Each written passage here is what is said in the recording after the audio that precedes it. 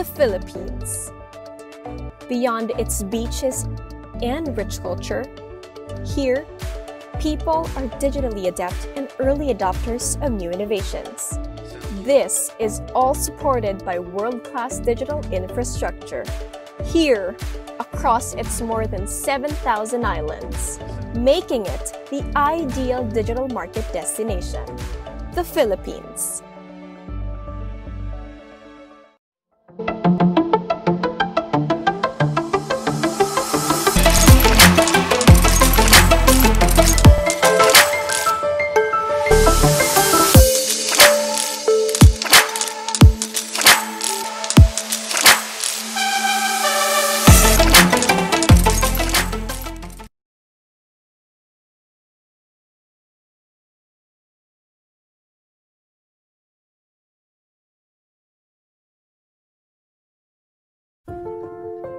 IPv4.global. From Hilco Stream Bank. Backed by Hilco Global, IPv4.global has completed thousands of transfers. Our online marketplace serves address blocks and ASNs of all sizes and regions. Transparent, experienced, reliable. IPv4.global. You don't call your mum via a chain of other people's phones. So why would your Australian network be any different? One Internet Exchange Service makes single point national connectivity in the Australian market as simple as IAA. Carrier neutral, high performance, unmetered peering from IAA. Because your users deserve it. In Asia, the IP address management is managed by an organization called APNIC. Then, APNIC appointed IDNIC, APG, to run the IP address management process, especially in Indonesia.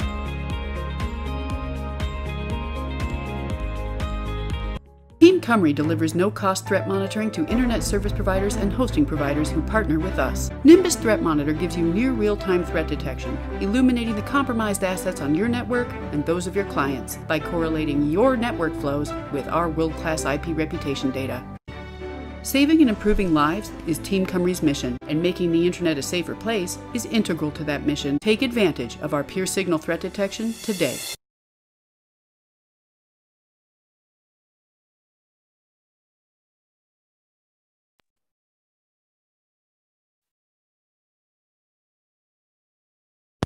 Thank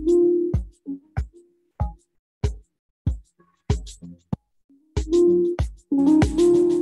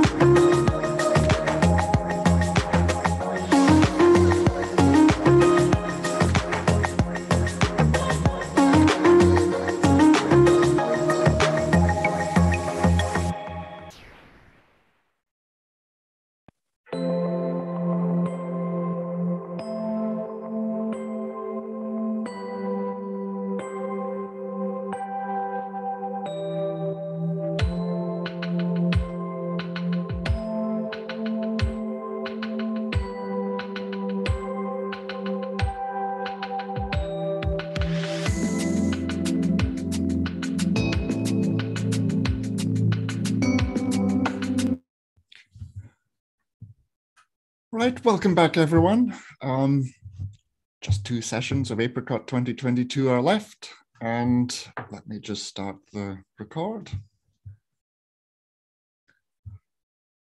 And so I'd like to welcome you to the next session, the security operations session, which is chaired by Masataka Mawatari. Masataka, the session is yours.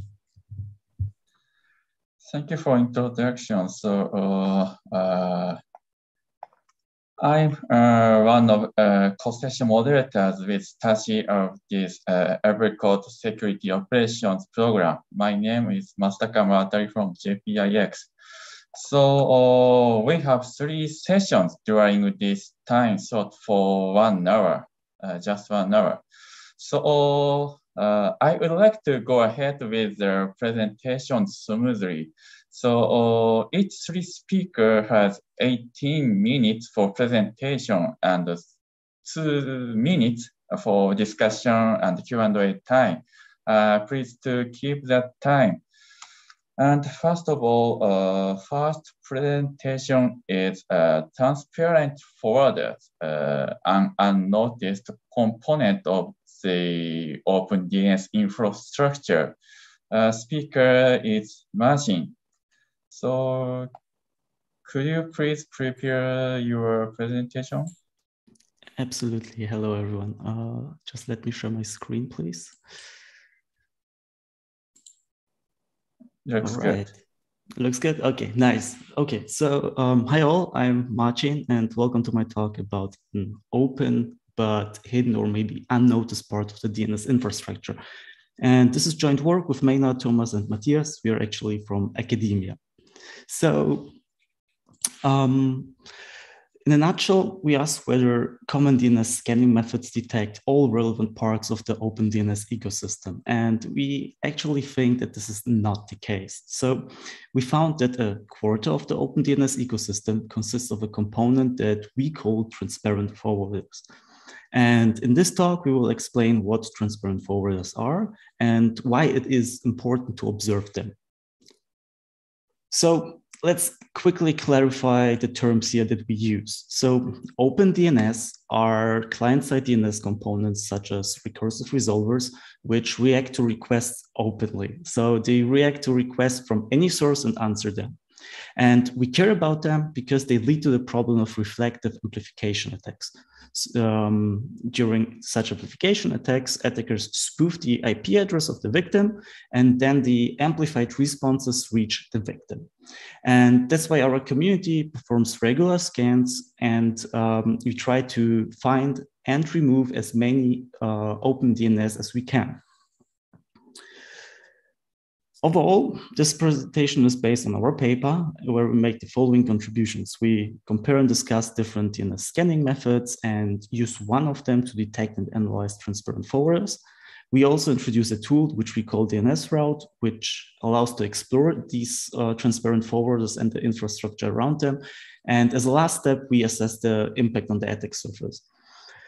Today, during this talk, I will focus on the following contributions, um, but please see our paper for all the nice details just asked during the Q&A session. So, all right, let's take a look at um, how transparent forwarders work and why they are potentially missed by scans. So transparent forwarders are devices that react to DNS queries in a very special way. So we have the transparent forwarder here. And then in this example, we have an internet, internet-wide DNS scanner that sends DNS requests to, um, to the whole IPv4 space, and also in this case, the transparent forwarder. And obviously the scanner uses a specific client source port. And since this is a well-structured DNS request, we have all the DNS fields like the query name, but it's also shown here the DNS transaction ID and so on. And now comes the most critical part. While receiving the request, the transparent forwarder actually rewrites the destination IP address, but keeps all the other fields. So this means that the forwarder actually spoofs the IP address of the scanner and then forwards the DNS request to the public resolver. And now what happens is, of course, that the resolver will try to resolve the query and then sends the response directly to the scanner. So the resolver here behaves correctly uh, because uh, the resolver thinks that the packet came directly from the scanner, but it actually came from the DNS uh, transparent forwarder. So let me sum up here. First, transparent forwarders send spoof packets. And second, scanners that consider only the replying source IP address have an incomplete picture. And this is because transparent forwarders react um, openly to DNS requests, but their IP address are not part of the final DNS response. So again, please note that the public resolver never sees the IP address of the transparent forwarder. And so we have to, in order to have a complete picture, we have to somehow correlate requests and responses. That's the only way uh, to detect transparent forwarders. And let me briefly put this all this into context. Um, there are well-known DNS manipulations such as transparent interception or redirection, but uh, we actually show in the paper that these are not responsible for the observed effects here. And in fact, transparent forwarders have been described by Jared Mark many years ago. However, they fell off the radar as an exception. And this is why popular scanning campaigns do not cover transparent forwarders currently. Overall, other scanning campaigns report currently below 2 million ODNS, and our scans detect slightly more because we include transparent forwards. And in the paper, we additionally conduct a controlled experiment with honeypots to prove that scanning campaigns indeed miss them. Um, but overall, in the last eight years, the absolute number of all other ODNS components actually decreased from 20 million to now below 2 million. So the thing is that the absolute number of transparent forwarders remained stable. So this is why transparent forwarders transitioned from an exception to actually a major part of the ODNS ecosystem. They now account for 26% of all ODNSs. And that's why we investigated and started to analyze them. So again, if you still ask yourself why transparent forwarders are not detected, well, it's basically because of efficiency reasons. Um, most scanning campaigns just use a static query and only evaluate the incoming traffic. That's the fastest way to perform uh, internet-wide DNS scans. And this, of course, means that the scanning campaigns only see the replying source address, which is the address of the resolver and um, the address of the transparent forwarder remains hidden to them. So we, on the other hand, use a quite simple way to detect transparent forwarders. First of all, we re record the outgoing and the incoming traffic. That's the first thing we do. And for all our requests, we use random source ports and DNS transaction IDs, which we then use to match requests and responses. And um, note that we do not match using the IP address. So even if we receive an answer from different IP address, we are still able to infer the original address uh, which received the request. And this is usually, uh, in many cases, the IP address of the transparent forward. And all this can be done quite efficiently during post, post analysis, especially, and has minimal impact on the scans themselves. So that's why we use this way. Now, let's take a look at the results. So the first question you might ask is in which countries are transparent forwarders deployed? And we show this in this graph. On the y-axis, we show the number of transparent forwarders. Please note that this is logarithmic. And the x-axis is a little bit more complicated, but clearly we have here the country code, then we highlight countries, which are classified as an emerging market with a bold star. And we also have a number there, and um, the number shows the number of different autonomous systems which contain transparent forwards in the specific country. So we learned two things here. First, countries classified as emerging markets are more likely to host transparent forwarders. And in each country, multiple ASs host forwarders. We now extend this plot by show, showing the relative number of transparent forwarders in each country. So we show this on the right y-axis. And so, for example, the ODNS in Brazil consists of more than 80% of transparent forwarders. So there's a third thing to learn here. In some countries, the ODNS consists almost exclusively of transparent forwarders. As a second analysis, let's take a look at which resolvers are used by these transparent forwarders. So this plot is this exactly same x-axis as the plot before, but it shows the share of responses from well-known resolver projects. So these are the public resolvers that most of us know. Um, so if we look at the second country here, for example, India, we see that almost 100% of the Indian transparent forwarders forward to Google.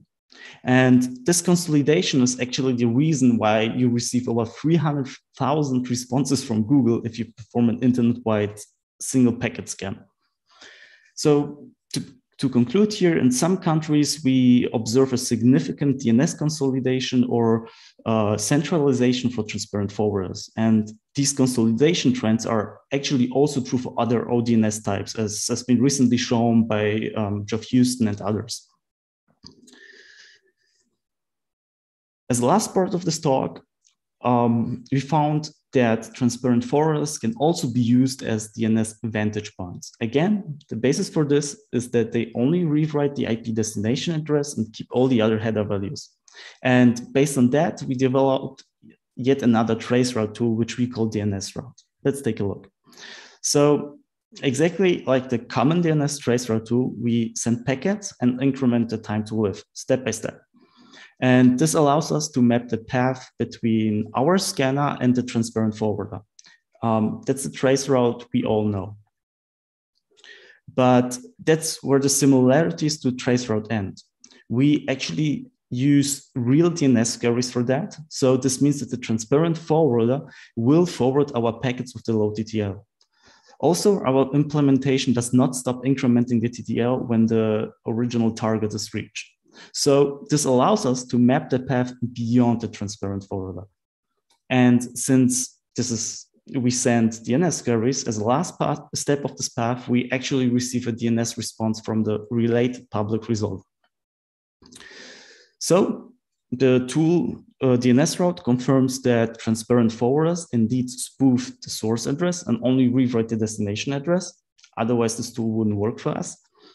And second, this also allows us to use transparent forwarders to measure path lengths uh, from the transparent forwarder to the public resolver. So the right part of the path that you just see here. And um, we did this for public Anycast resolvers. Let's take a look. So um, let me show you a CDF of path lengths from transparent forwarders to the public resolvers. That's the, again the right part of the path. And um, we differentiate here by three large public resolvers, which are known to utilize Anycast deployments. Again, redirecting our traffic over transparent forwarders, we are actually able to reach multiple POPs. We did not use every path in this measurement because uh, we also observed traceroute anomalies. However, we were still able to utilize around 70,000 paths. And as you can see, uh, Cloudflare's Anycast deployment actually performs best, uh, at least in our measurements. So the final question here would be, what kind of devices are transparent forwarders? Who profits from the behavior and who produces transparent forwarders? And this is a question that we are still not able to answer completely. Um, we used fingerprinting methods and identified a couple of MikroTik devices. Also, we found a misconfigured Cisco device while communicating with an operator, but that was just a single case. Um, in many cases, we see hints of CPE devices in ISP networks, but um, actually one of the main reasons of my talk today is to get in touch with more operators and maybe to find more details about these devices. Um, so we perform weekly DNS scans and publish them on our website.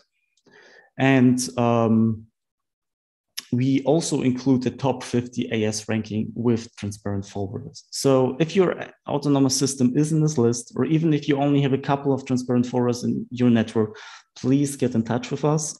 Any help is greatly appreciated, um, especially because one of the current findings of our regular scans is, is that the absolute number of transparent forwarders actually slowly increases. So all this is not only legacy devices, but someone out there really deploy, is still actively deploying transparent forwarders. All right, um, let me conclude my talk. Um, the OpenDNS ecosystem includes transparent forwarders. However, many popular scanning campaigns tend to miss them. Uh, transparent forwards can be leveraged as vantage points, as we did. Um, they are properly CPE devices deployed mainly in ISP networks in emerging markets. And uh, finally, um, as we argue more in detail in our paper, um, they could also ease, ease attacks because they allow to easily reach multiple POPs of the same Anycast DNS provider. And this might allow to circumvent POP-based DDoS mitigation thresholds. And with that, um, I would like to uh, finish my talk and I'm happy to answer your questions. Thank you.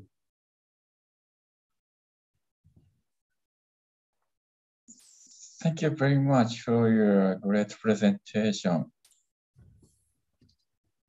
Anyone has any question or comment?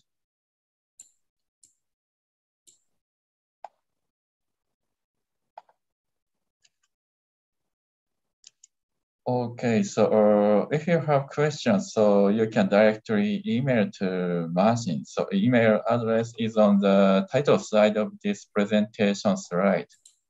Okay, so you can download this slide from the APRICOT website. Okay, so thank you again for your presentation, Marcin. Thank you. So, uh, and uh, maybe we will have question time in the last part of this time slot of this program. And uh, let me move on to the next session. So second presentation is uh, Gatekeeper, the first open source DDoS protection system by Qiaobin. So yeah. Qiaobin, uh, could you please prepare your presentation? Please okay, sure, ahead. thanks. Yeah. Let me present my slide.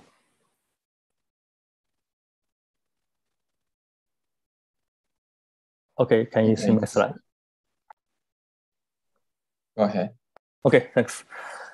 Uh, so hi everyone, uh, this is uh, Qiaobin Fu from Google.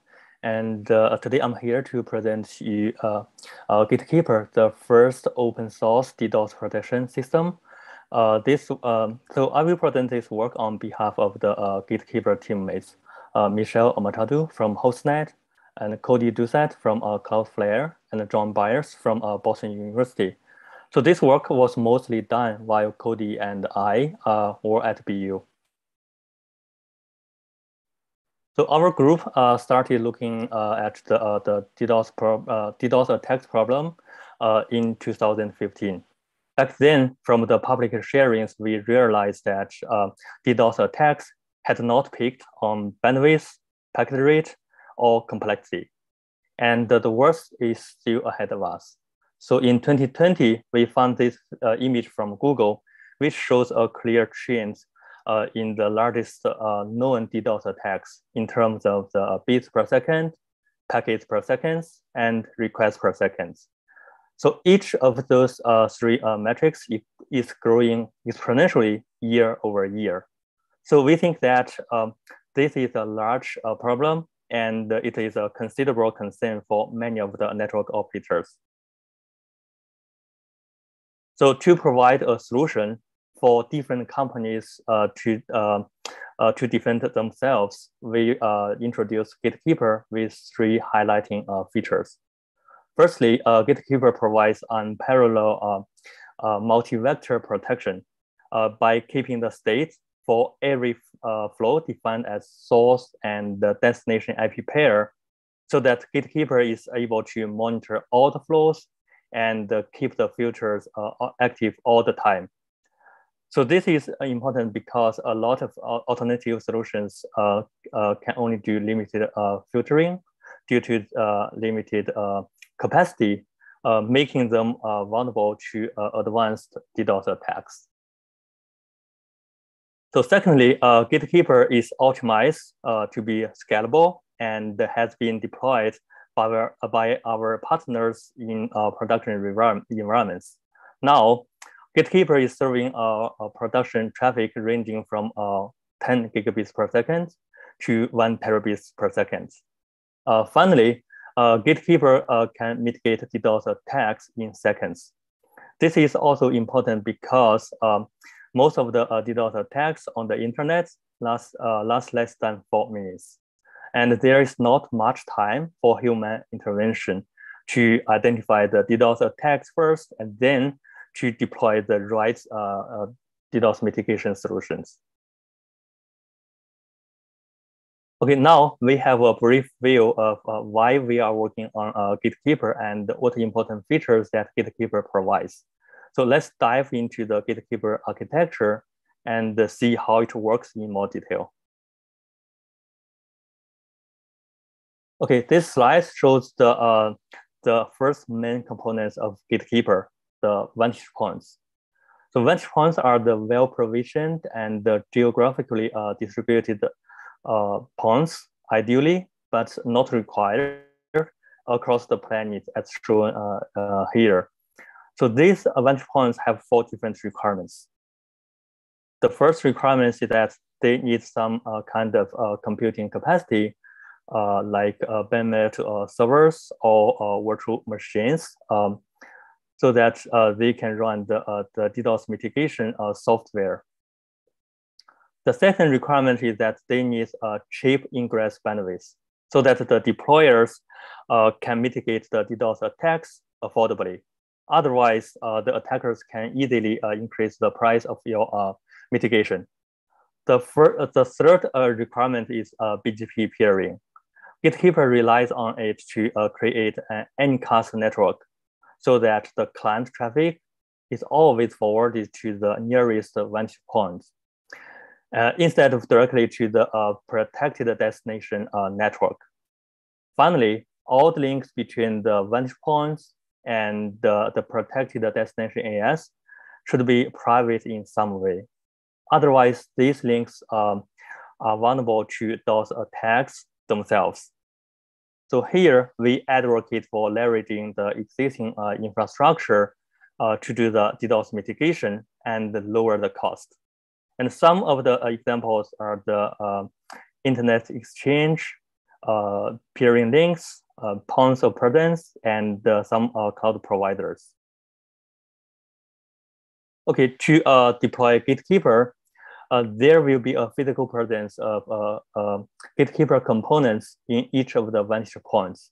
This would require deploying a Gatekeeper server that is connected to the switch of an IXP.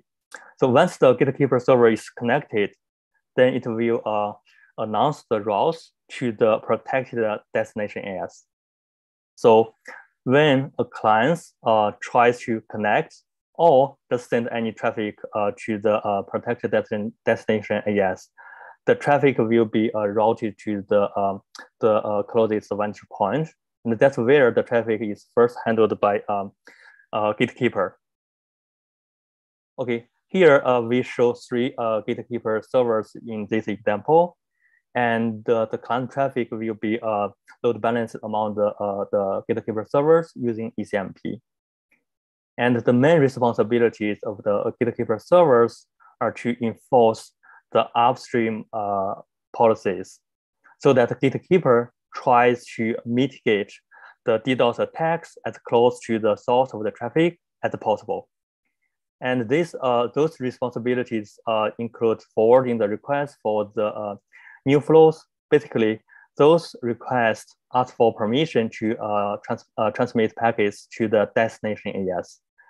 The gatekeeper servers also uh, keep track of the uh, decisions about whether to allow a flow or not, and drop or rate limit its traffic accordingly. So the decisions come in the form of uh, BPF programs. So each flow is assigned to a BPF program and some small amount of uh, state, about 64 bytes. With that state and the BPF program, we get uh, flexible uh, policies and software.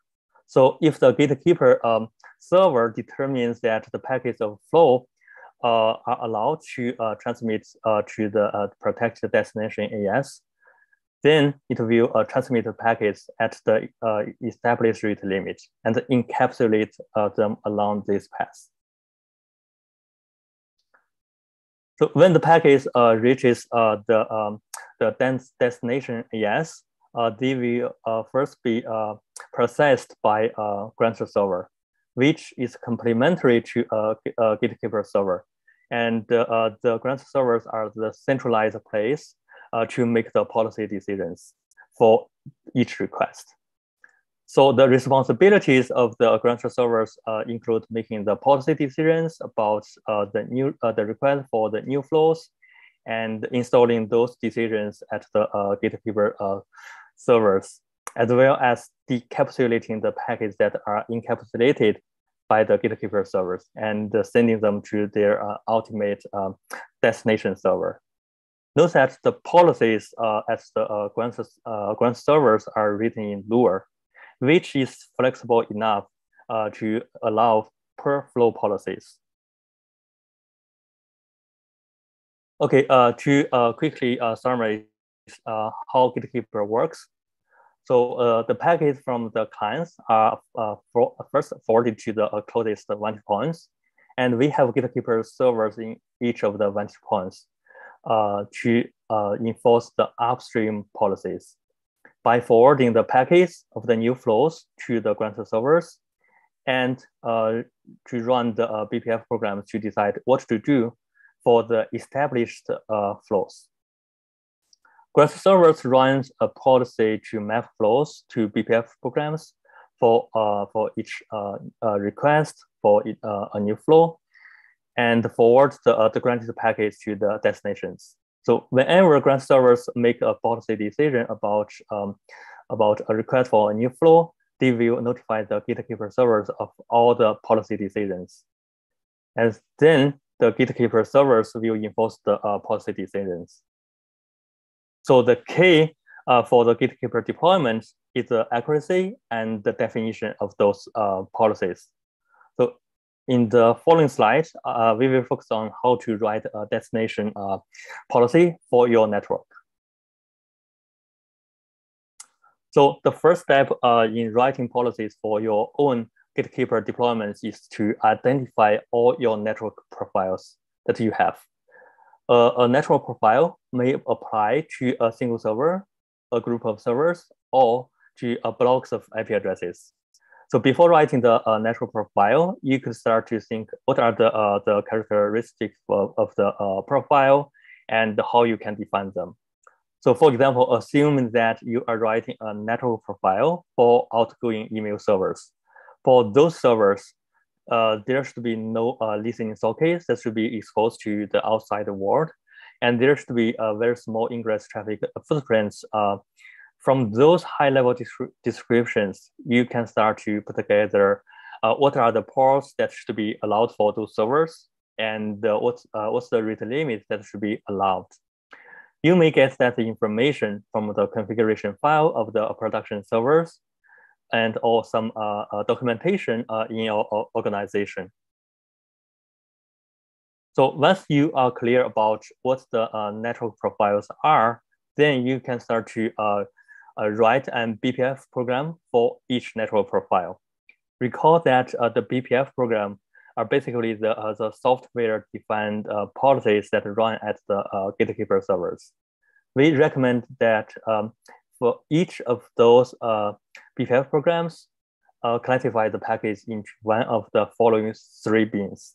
The first bin is the, the primary, primary bin that has a baseline rate limit applied to it and this represents the package that serves the main purpose of the service. Uh, in addition to the, uh, the uh, primary bin, we also recommend having a secondary bin for those packages that are needed for the service to operate. For example, uh, the TCP SYN package uh, for the uh, connection establishment and the ICMP package for, um, for the network issue diagnosis. So however, the, this bin uh, shouldn't have the uh, same traffic volume as the primary bin of the service. And this allows a secondary rate limit for those kind of traffic. Finally, there is a, uh, um, there is a bin for unwanted traffic to explicitly uh, drop them. For example, if the service only allows for um, port 80, then any traffic other than that should go to the unwanted traffic.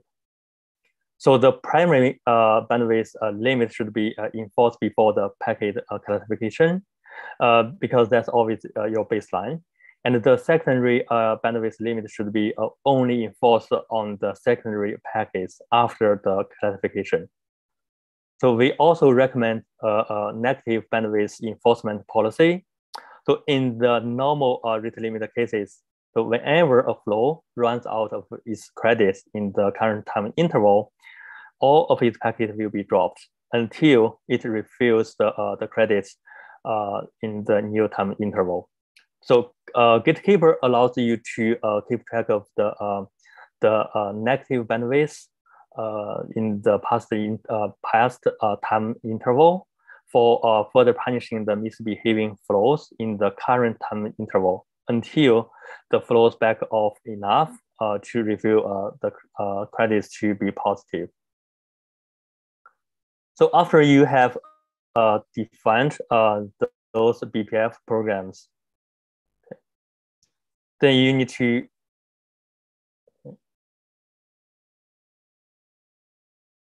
then you need to uh, method flows to your uh, uh BPF programs at Grantor. Uh, to do that, uh, you can just classify uh, the flows using the uh, destination IP address. Uh, so when uh, the Grantor server receives um, a request for a new flow, it looks at the destination IP address and decides that everything inside this example slash 25 IP block is for the outgoing email servers and assign the flows uh, to the BPF program that you have just written in the last step. Note that Grantor servers uh, run this uh, as part of the uh, uh, Lua policy. So beyond the destination IP addresses, you could also classify the source IP uh, addresses. with this, it allows you to reject bogons, abuse users, malware, and tune the bandwidth to particular partners, countries, and, end users. Or it could uh, return different uh, um, profiles uh, to different entities like CDNs, uh, crawlers, and offices in your organization. And if you want to manage all your uh, IP ranges at this level of management, we also provide a tool called Drib, which is available on uh, GitHub for classifying, merging, and prioritizing the IP ranges. Okay, after knowing the details about the policies in Gatekeeper, let's take a look at an example policy against a SYN flood. Recall that uh, the Gatekeeper server will uh, forward a request for each uh, new flow. There is an automatic uh, request channel in Gatekeeper, which is out of the scope of this presentation. Uh, during the attack, the request channel will be capped to 5% of the link capacity. Moreover, um, a flow receiving a SYN flood uh, is counted under the uh, secondary rate limit, which further limits the SYN flood to uh, less than 5% of the uh, primary uh, limit. Note that this limit is set on per uh, flow basis, and it does not make sense to give all the link capacity to a single flow. So finally, while the secondary rate limit bounds the worst case, the negative bandwidth blocks the abusive flows. Okay, this policy uh, can stop the typical infrastructure attacks like uh, SYN flood, UDP flood, and ICMP floods, as well as um, uh, amplifications like DNS, NTP, and memcached. Moreover, it can uh, help enforce the application patterns for cryptocurrencies, VoIP, online games, and port knocking. Finally, it also uh, can stop the advanced attacks like uh, Catch-22, and the crossfire and the arbitrary combination of the above uh, attacks. Okay, we have uh, evaluated some of the types of the attacks that Gatekeeper uh, defends against in our uh, white papers. However, due to a time limit, we cannot cover uh, them in this talk. And for more details, please uh, see our publications page. Okay, finally, uh, let's take a look at the, uh, the planned release of Gatekeeper and uh, conclude this talk. So the latest stable version of Gatekeeper is uh, 1.0, which was uh, released on uh, last September and is currently being deployed by uh, Digirati and Mail.ru. and more uh, uh, improvements are expected to come up soon in version 1.1 and 1.2, uh, which aim to uh, address the production demands uh, from the, uh, the pioneer deployers. So the load balancing in policy is also planned for version 2.0. Okay, to wrap up this talk, Gatekeeper provides unparalleled multi-vector protection and can mitigate DDoS attacks in seconds. And the added latency uh, is small, uh, less than uh, 10 microseconds. Gatekeeper is scalable, open source, and ready for your deployment. specifically, the policy templates um, presented here was motivated by the pioneer deployers. A deployer can create a rather uh, different policies since uh, the policies are basically the uh, BPF programs and Lua scripts. Uh, finally, uh, load balancing and the more install for the future. Okay, uh, that's all for my talk, and thanks for your time. And yeah, happy to uh, I'm happy, happy to uh, take your questions. Thank you for great talk, great gatekeeper. So we have one question on the chat box on this Zoom. Mm -hmm. So question is, uh, let me read, uh, on which network component we could implement this gatekeeper on the top of BGP black holing in router?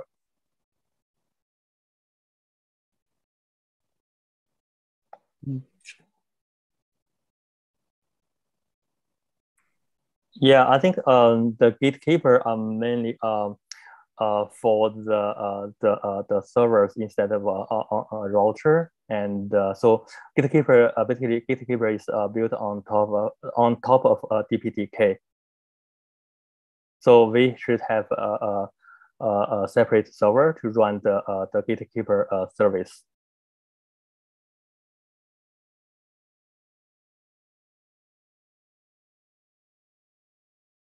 Uh, do I, I answer your question? So uh, this question is uh, Kangeni from, uh,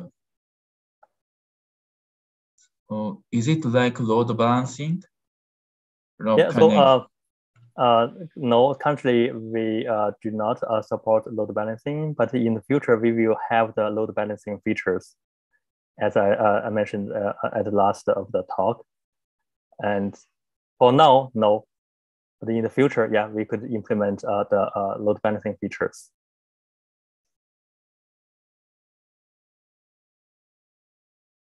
Thank you for your answering.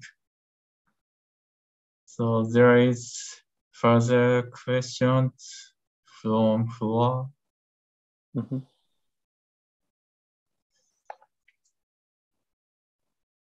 Looks no question. Okay, so uh, is there a way to ask a question for you after this time slot of this session? So is writing question on the issue page of uh, GitHub okay? Or uh, yeah, yeah, I think uh, we have the contents on the GitHub and uh, yeah. Okay, so uh, thank you very much for your presentation. So, uh, and uh, let me move to the next. Uh, okay, thank you. The next is, uh, thank you very much. So That's... the final presentation is uh, ransomware as a science uh, by Aaron. Oh. Hello. Can everyone I hear me? can hear you. Okay, good. Um, change the view um, to There we go. Okay. Um, it's nice to speak to you. Thanks everyone for um, joining today. Uh, this will be more of a presentation about the economics around ransomware, although not just the economics of how much money the gangs have made, um, also trying to capture how much we should be spending on defenses and so on. So a little departure from your usual networking towards the economics, but I can assure you um, there are a lot of networks at work in ransomware.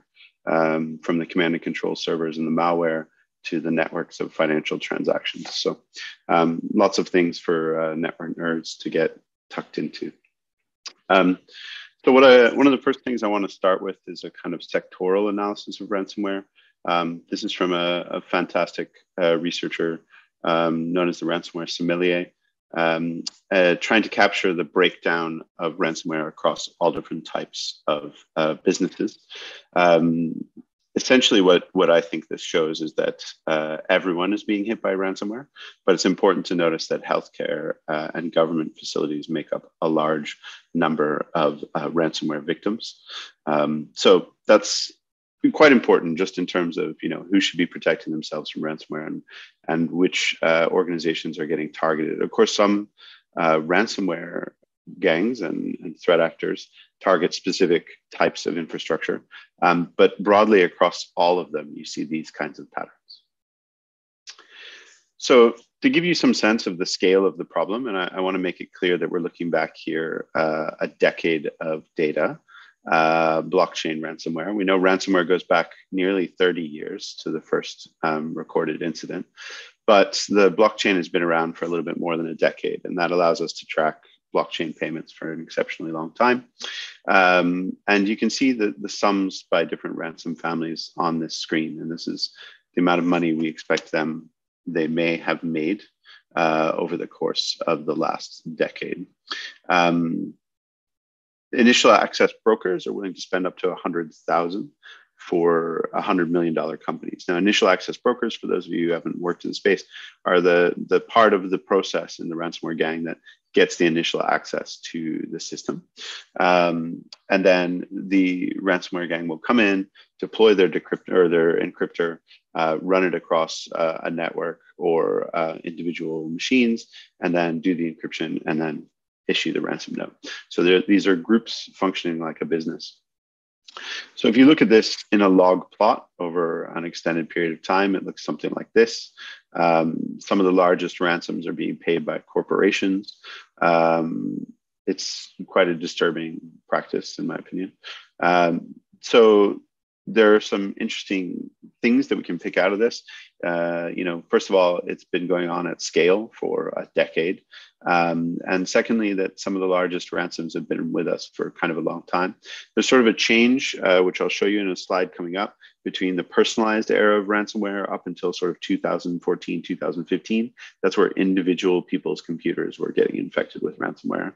Um, and then from sort of 2015 onwards, we see the shift towards large corporations are being hit. Um, there's a proliferation of different types of gangs, their tactics change. They start to perform things like uh, double and triple extortion. Um, so to explain what we mean by that kind of double and triple, um, a single uh, extortion would just be they encrypted all of my files and they're charging me money to, to decrypt them. And the double extortion we refer to is when they um, encrypt all the files.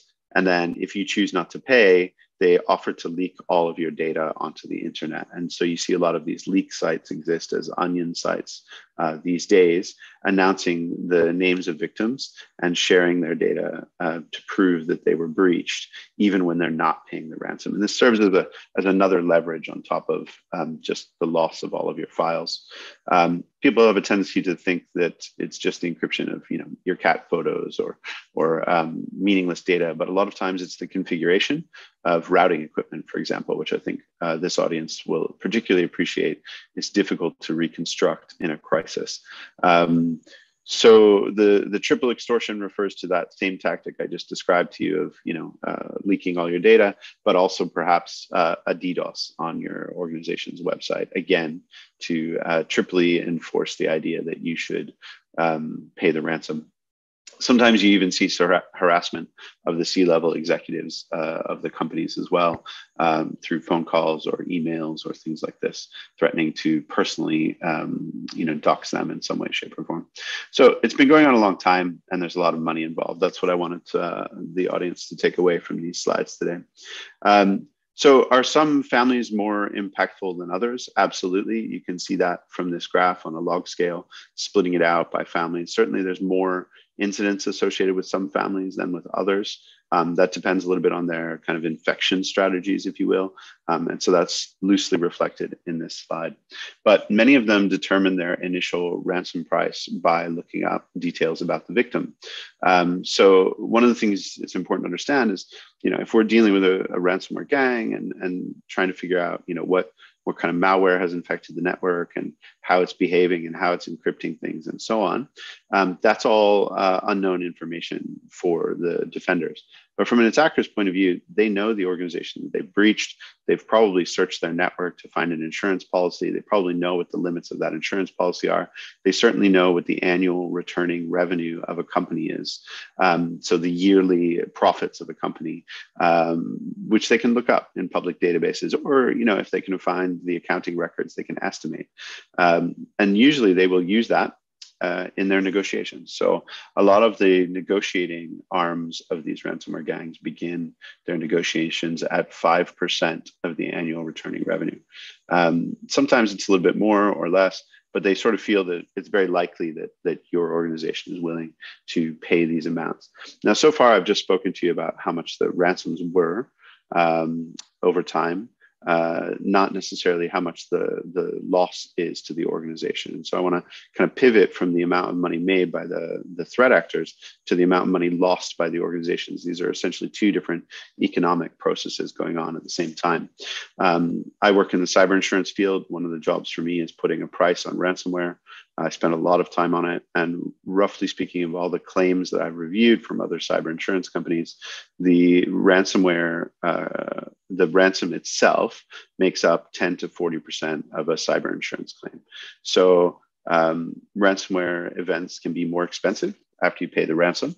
Um, there's a lot of boardroom decisions about whether or not you pay the ransom, which is uh, probably too much to go into in this particular session. But what I want to get across to you is that even if you did pay the ransom, you still are dealing with um, 60% more of the incident still to come, right? And that might be PR, that might be regulatory issues, that might be reconfiguring network equipment. Um, even the decryptor that you might get from the gang tends to be very slow and has to be sped up. There are organizations that specialize in ransomware, universal decryptors these days, and they'll take the decryption keys from whatever um, code was given to you by the gang, and they will use the new the use the decryption key in a newer, safer uh, decryptor.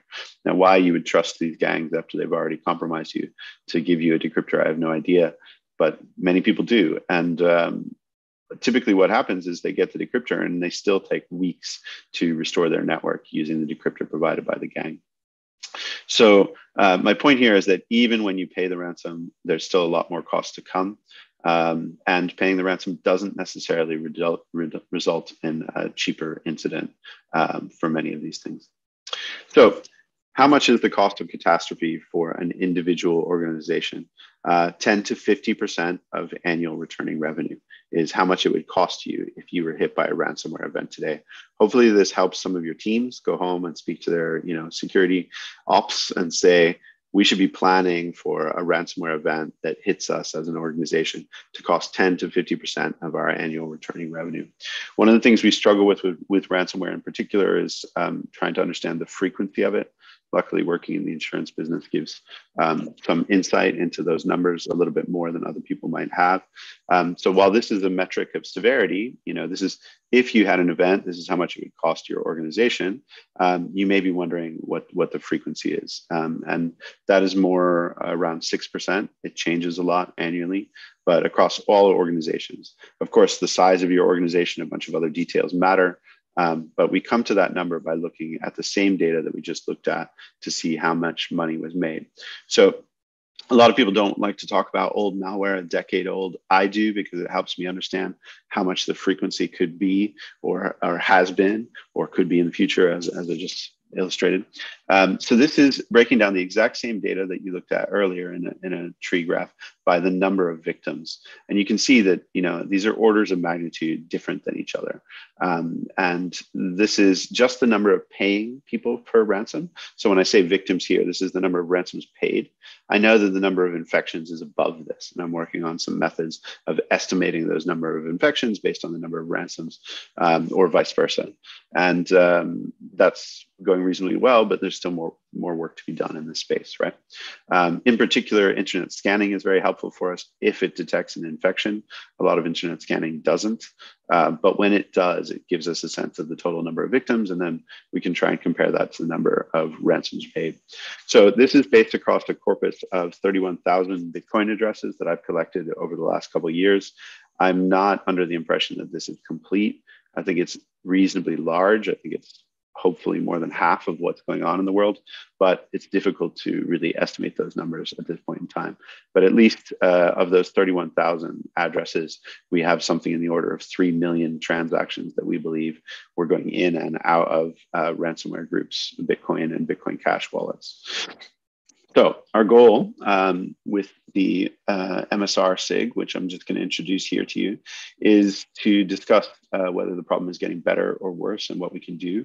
So over at first.org, uh, which I think some of your members will know of, um, we have an organization known as the Multi-Stakeholder Ransomware Special Interest Group, and that's where some of this data is coming to you from. I'm one of the co-chairs of that, along with Barry, Ga- Barry Greene, who I think, again, many of your members may know, and uh, James Chappell.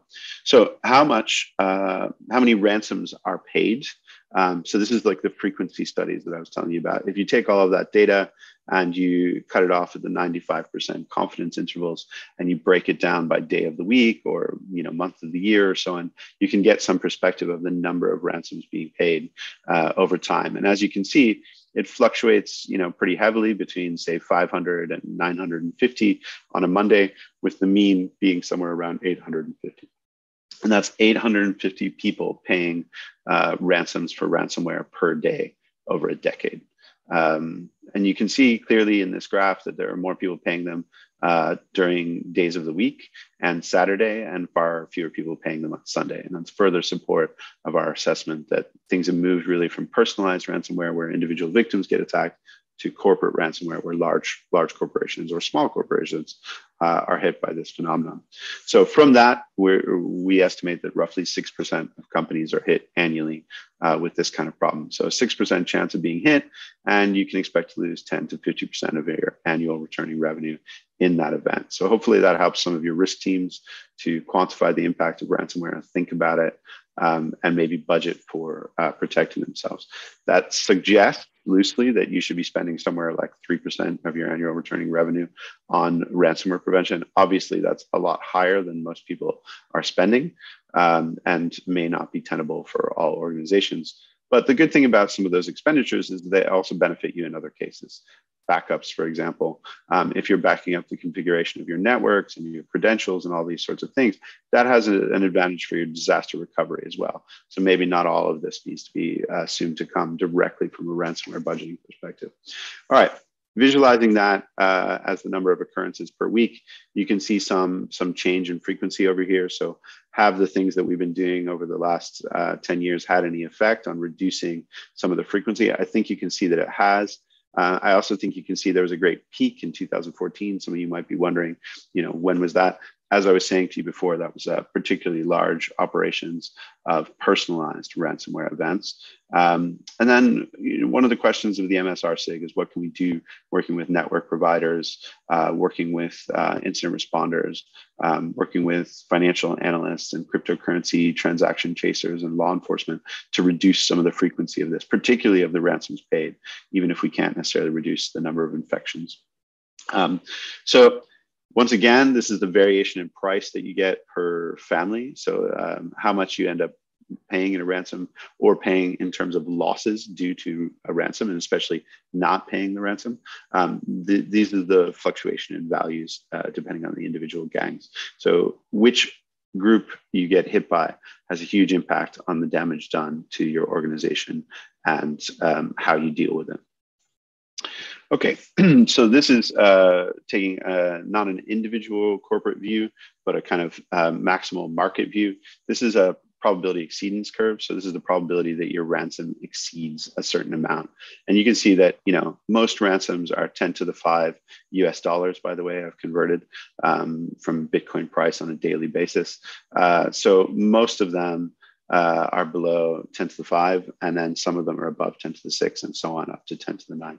So you can see an exceptional amount of um, huge losses uh, you know, or a very small number of losses are that large, but they do exist. And so, um, what I'm trying to tell you there is, you know, the biggest customers in the world really, really fuel.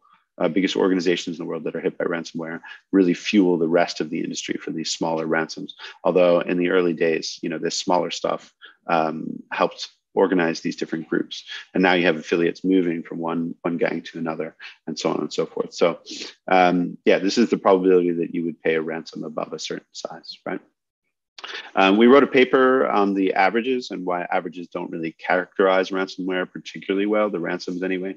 Um, and you know, giving an, an, everyday explanation without getting too deep into the maths. Um, imagine that we took all of our salaries and we average them together. It might say something about our salaries and about who we are and, and how much we earn.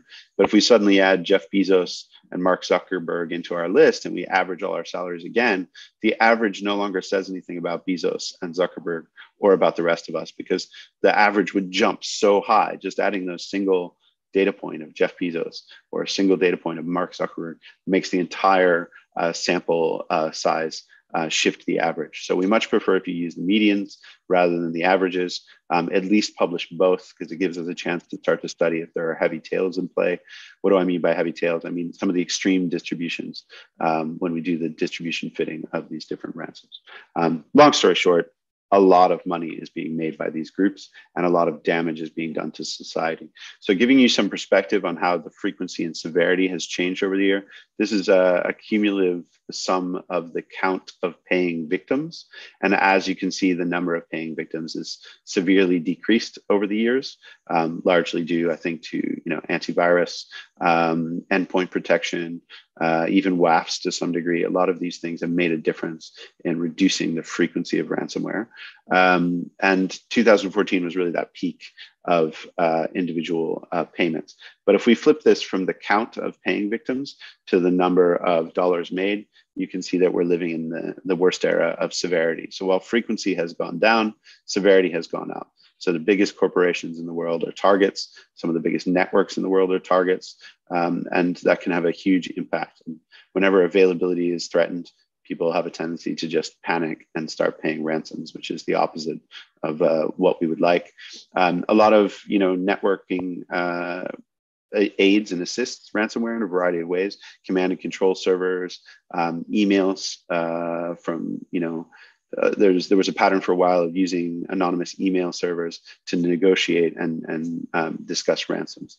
There are things that can be done about some of that, or um, looking at some of the C2 infrastructure of ransomware on different networks to help make an impact on uh, global ransomware, which is sort of why I'm here speaking to you today. Um, and that's essentially all of my slides for you. I know it didn't contain a lot of financial networks or, or um, computer networks, uh, so it's a little bit different than your usual APNIC presentation, but we wanted to get across the point that the, um, the MSR SIG over at First exists if you'd like to work on ransomware and kind of change the landscape. Uh, we'd also like you to remember that ransomware is a big deal and it costs a lot of money, deserves uh, similar attention to DDoS uh, for a variety of different reasons if you're into networks, um, we have financial networks, we have malware networks, we have the uh, binary distance between malicious binaries. So you've got multiple networks. Uh, it's almost like a complex networks problem, um, ransomware uh, in the whole. So that's my presentation. Hopefully, I haven't run over time. And if you have any questions, uh, fire them in. If you want to get in touch with us, you can go to the first uh, MSR SIG page um, and get involved. You, Alan, uh, for your excellent presentation. So, any comment or questions? So, or, and uh, we can have a little time for uh, all three speakers uh, for uh, for all, all three speakers. Okay. Okay, so or after this session, uh, if you have any questions, please send to conference at apnic.net. And uh, we don't have time left. Let me conclude this session. Thank you all three great great speakers. And uh, thank you all for joining APRICOT Security Operations session. Thank you very much. So please do announcement, Mr. Fripp. All right, thank you very much, Masataka-san. Um, also, thank you, Tashi, for helping out chairing that session as well. And thank you to the three speakers, Marcia and Qiaobin and Aaron. Great presentations. Uh, really enjoyed listening to all three of them. And thank you so much for your contribution to APRICOT. And so that brings us to the end of the security operations session. Uh, thank you all very much for your participation.